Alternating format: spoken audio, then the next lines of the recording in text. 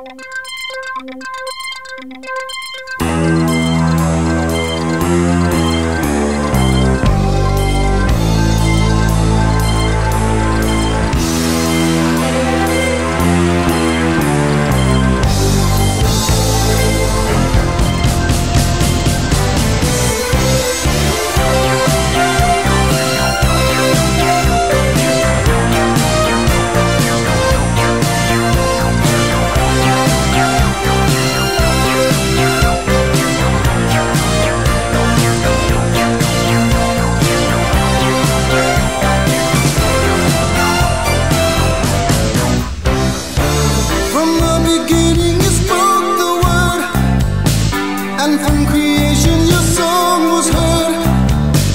You told the story.